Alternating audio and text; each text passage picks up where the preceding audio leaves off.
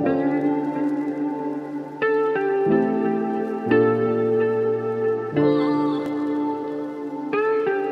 everyone, hope you're doing really well. Uh, welcome to another teacher vlog video. Um, I'm going to be doing some lesson planning for year 11 today. If you saw my other teacher vlog that I put up, I think it was two weeks ago, um, I lesson planned for year 10 uh, for topic 1 in biology, so if you want to have a look at that you can. Um, but today I'm planning topic 5 um, and I actually teach four different year 11 classes. So I teach a couple who are sort of middle ability um, and within that class there are students who are really really able and some students who need a bit of support so I need to consider how I'm going to differentiate for them and make sure that the pace of the lesson suits everyone. Um, and then the other two classes that I teach for year 11 are lower ability sets. So those are students who need things broken down a lot more, need the pace to be a bit slower, need more visual and imagery. Um, so when I'm lesson planning today, I'm going to try and cater for this particular cohort of students um, and give me enough freedom and you know opportunities to um, tweak things and change them as I see um, fit because I think the, the, issue with planning beforehand is you're you're anticipating that you know exactly what students need and then comes lesson one and you realize actually all of the future lessons I've planned um, isn't really suited to, to this group of students. So I don't want to plan too far ahead. I'm just going to plan the first three to four lessons just to give me enough enough room for the first couple of weeks to get myself organized and, and be on top of things without feeling overwhelmed. So that's the plan today. Um, so I'm going to show you a few things behind the scenes in terms of what tasks I choose to do, how I put together my PowerPoints, um, opportunities for differentiation, websites that I use. So I'll show you all of that and I hope you find it useful if you're planning your lessons and if you want a little bit of insight as to how someone else does it. Also, I'm feeling really great today. Um, I've not been feeling amazing, to be honest. Uh, I don't know what it is. I think it's because I really do miss being at school and I miss the routine of work. Um, and so I think it hit me that we've still got a couple of weeks left and I'm just sort of like feeling like I have all of these things to do um, but not really any drive or motivation to get them done. So I'm hoping that today um, will change that feeling. Definitely a good start to the day. I started with some stretching. I did a little bit of meditation. There's this really really great app by uh, Sam Harris called Waking Up you should check it out if you want something a little bit different to um, Calm and Headspace, which are two other apps that I've tried before for meditation. But my brother's been using this app for quite some time and he raves about it. So um, he's given me a subscription for a particular part of of the app um, that I'm really looking forward to using. So it was a really great start to the morning. Got ready, had some breakfast, I've got some coffee, and now I'm here at my desk and I'm about to start work. So nice day and also it's a bit grey outside which you know kill me but I actually really love um, it's like a greyish weather to work. When it's too hot and too sunny it's just too bright for me to focus on my laptop. Um, even if I shut the curtains it just doesn't feel great. So I think the universe is on my side and I'm feeling really up for it. So let's start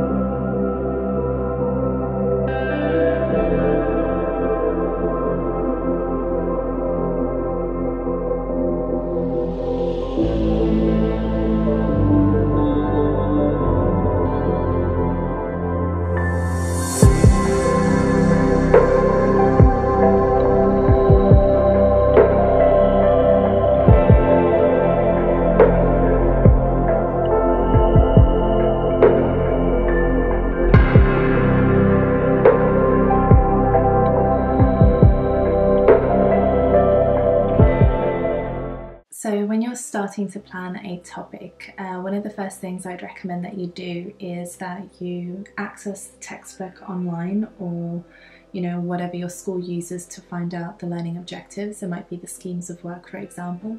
And I think that should be the starting point because you need to be able to identify what learning objectives are going to be covered in each lesson. And then once you know what those learning objectives are, you're essentially applying the backwards planning model. So you're starting with what the outcome is, so what is it that students need to know, and then you're backwards planning because you're identifying what they need to do in order to be able to achieve that learning outcome. So what I would do next after getting all of the learning objectives from, I get it from the textbook and assigning them to different lessons. I do that on my medium term plan so you can check that out in one of my videos on my channel. Um, the second thing I do is I find what available resources there are already. So there's a ton of quick quizzes, there are lots of activity worksheets, there are PowerPoints already made um, through the textbook um, online website, but also my school has a lot of resources already made. So I just have a quick browse, look through things, and identify anything that I might need.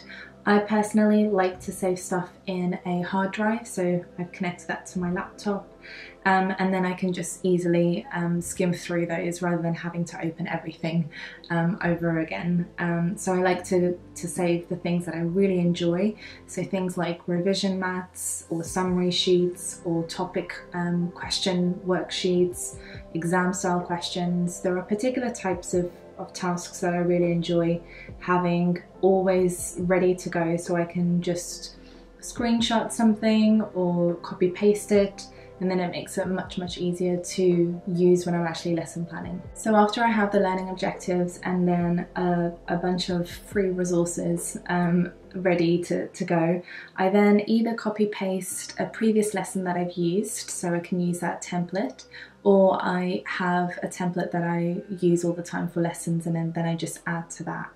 And the reason for doing this is it just saves time um, in terms of formatting the different fonts, colours, the layout of your PowerPoint slides because you, if you have to recreate that every single time, it's going to be really time consuming. So copy paste something that you've used before or spend about half an hour just creating a template that you can always use um, and then start adding to that PowerPoint um, the lesson that you want to teach your students. Now, some of you will have to write a lesson plan for the for every lesson that you teach. My school doesn't ask me to do that. I just lesson plan sort of by brainstorming in my head or trial and error. So deciding, okay, I want to do this as the main task, and then I go back and decide what's the starter that students need to do, what's a suitable plenary.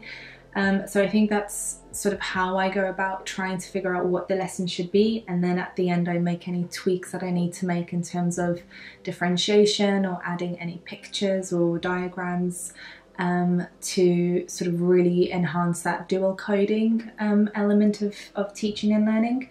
And if you don't know what dual coding is, it essentially means where you're trying to put together an image and text together so that students can learn more effectively rather than separating those two. So if you have on one slide in your PowerPoint an image and then you move on to the next slide where it explains that image and text, that is overloading um, their sort of cognitive memory and students might feel overwhelmed and not really understand what's happening because they're separating those two pieces of information. Whereas if you embed it together, so if you've got the picture and the text all in one, students are more likely to remember it because they just use their visual memory. Um, so I like to use that at the end. I sort of try to figure out where, where there are opportunities for me to, to use it. So here's a little example of a task that is a discussion based task so you can see here that I've got a little um, prompt for them. And I think what's really useful in this situation is to actually plan ahead uh, the questions that you want to include. So obviously I will reiterate this um, verbally out loud in the lesson um, and I will sort of as I'm walking around the room direct them to particular students um, but I think the, the idea of planning ahead your questions is really important because it's going to give you a clear idea of what you want to get out of that discussion and how long the discussion should, should take place. So in this um, type of, of activity, it's really straightforward that it's just a recall task. They just need to remember the different types of non-communicable diseases. I'm using imagery to show them, so they've got um, sickle cell anemia here, they've got deficiency diseases, the example here is rickets, but they can be prompted as an extension to try to remember the other types. Then we've got liver disease uh, from alcohol and we have um, smoking, the effect on smoking on lungs, but we also have the effect of smoking on the cardiovascular disease. Um, so the lining of the arteries, veins, um, as an example here of breaking down the tissue and increasing the, the fat deposits. So there's, I think the idea of including imagery for a discussion-based task is really important and then collating those ideas after a few minutes. So this task, for example, would be a task that I would give students about three minutes, three to four minutes to discuss. Um, and they're essentially answering what are each of these and what causes them and then what impact do they have on, on health um, with some extensions. And then I will just go through the fact that it's a genetic disease, it's a malnutrition deficiency disease, and alcohol, which contributes, contributes to liver disease, and then smoking, which contributes to lung and cardiovascular disease. So this is an example here of dual coding where you're associating the word with the image. So it's not like I've got the images on one slide and then I move to the next slide and I list them as four types of non-communicable diseases. I'm assimilating the information to the image that they've now already primed into their brain. So now if I needed to do a quick recall task of what are the four types of non-communicable diseases, they can quickly list that it will be genetic, malnutrition, um, liver and cardiovascular. And so then by doing that retrieval, um, I can, if someone's struggling, I can say, can you remember those images? Do you remember what the hands represented? Or do you remember what the little blood cell represented? And that can be a really easy prompt because you can't really prompt using what the actual answers are, right? So I think including images is a really great way to build from discussion into retrieval, so into memory practice. So something else to always make sure you've got in your PowerPoint slides for the different tasks is to make sure you've got the answers for them. Um, and I think it just makes it much easier because as you've planned for students to do the task, you can then make sure that you're spending your time supporting them rather than trying to remind yourself what those answers should be. Because even the best of us, um, at times we forget subject knowledge, we forget information and some of the questions that we might ask students do need a little bit of thought behind them or might need a calculator or whatever it might be and I think try to do all of that legwork before the lesson so you're not having to spend your time doing that rather than supporting students. The other thing I think is quite useful is to try and find opportunities to do some extension and challenge questions. So I mentioned before that I've got um, two of my year 11 classes who um, have mixed ability. So there's students there that are quite able and will finish the task before others. And so they'll need a little bit more of a challenge task to get on with. So I'm just going to show you an example of a couple of slides where I've done that uh, so you can see. Okay, so here you can see that my students need to uh, do some calculations. So I've given them uh, the formula there for them to write in their books and then some questions here for them to calculate. Um, I don't need them to write this in their exercise books. I just like to include little things like this um, that they can use when they're reviewing this PowerPoint at home because I often upload my resources onto Google Classroom to support them with doing some revision, but also for anyone doing some home learning and not able to come into school because of social distancing and social isolation. Um, this can be a really useful way of setting up the PowerPoints. But because it's a calculation task, I don't want to be doing those calculations within the lesson, so I just have the answers ready to go. And in terms of using this as a differentiation task, it's really easy to get students to rearrange them in terms of um, who has a higher BMI or who is going to, or make predictions in terms of who is going to be obese. Um, now, some students will have the opportunity to do an extension challenge activity, and generally speaking, any type of evaluation or thinking hard or um, you know comparing type tasks are really good ones to include as an extension task and this is a great opportunity here because it's also going to support me with the transition into the next slide which I know that a lot of us can struggle with transitioning between uh, different uh, parts of the lesson. So here I need to get them to consider what the advantages and disadvantages of using BMI to measure body fat um, are and hopefully that then should support students with identifying that obviously here is a little guideline um, for them but with identifying that in fact it's not always certain where the fat is.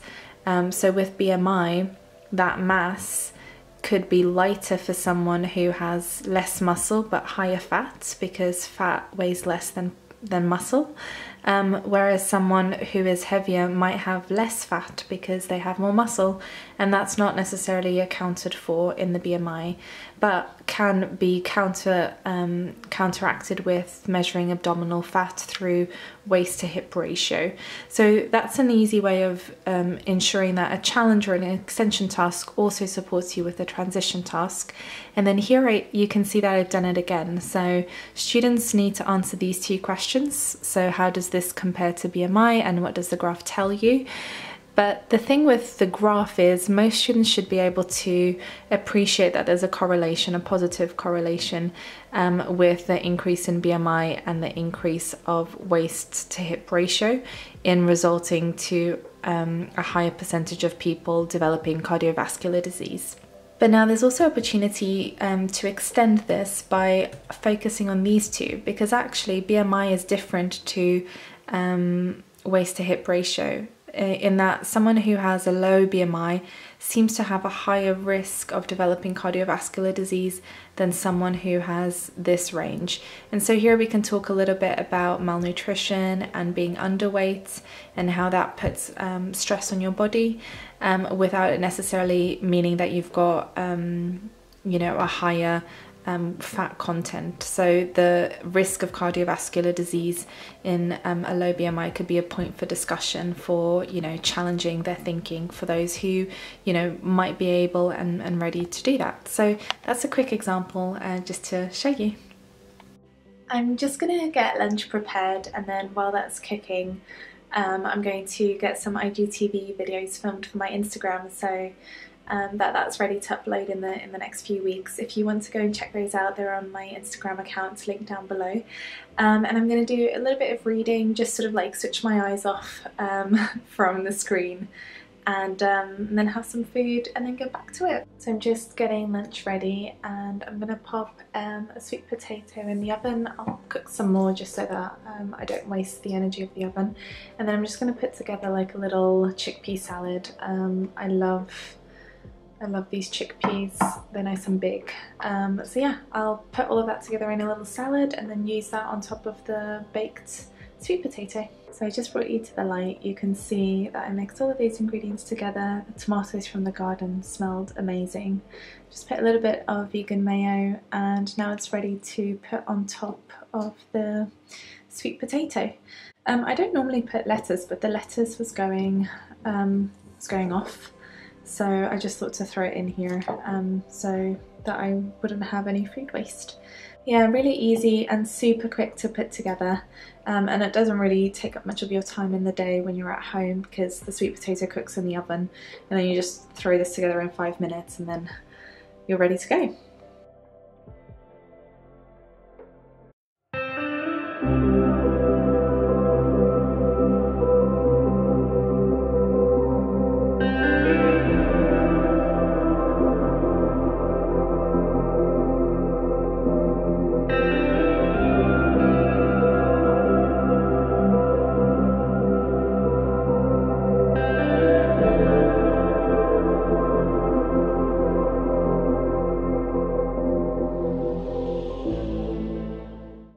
Just wanted to quickly show you guys some different ways um, of including AFL in your lessons, especially when the content is quite, you know, information heavy and it might be a bit teacher led. So for example, this is the starter task that I got, I'm going to get my class to do.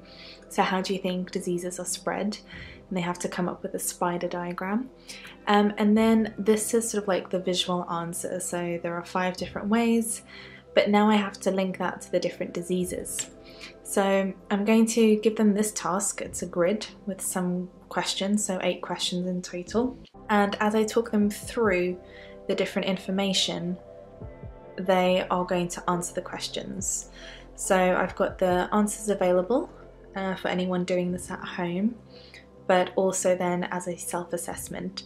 So as I talk through the information, they are going to have to find which question uh, that information applies to and then answer the question straight away.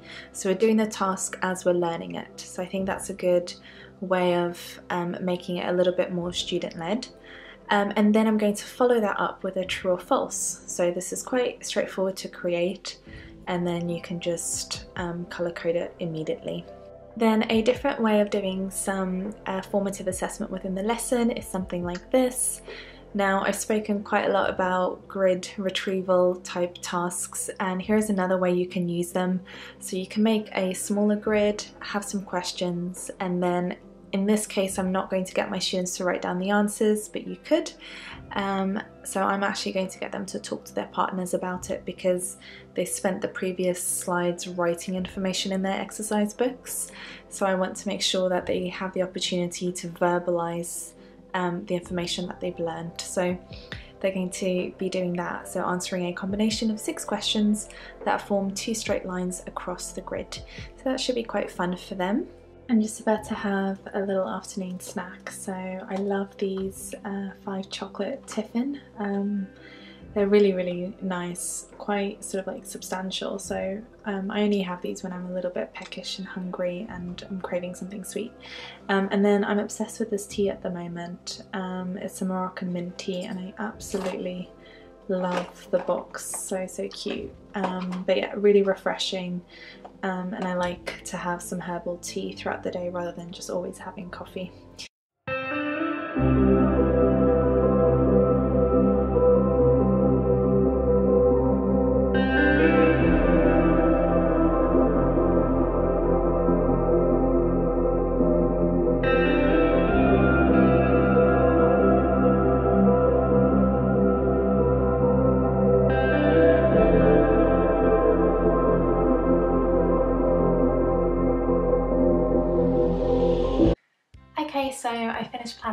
Lessons for year 11. Actually, in the end, it, it's nine to 10 lessons.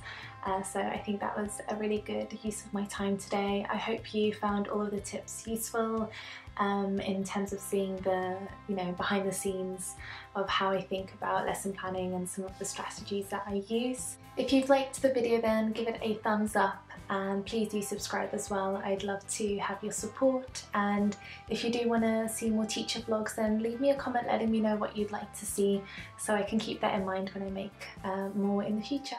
That is it for today guys. Have a lovely, joyous, beautiful day and I will see you next week. Bye!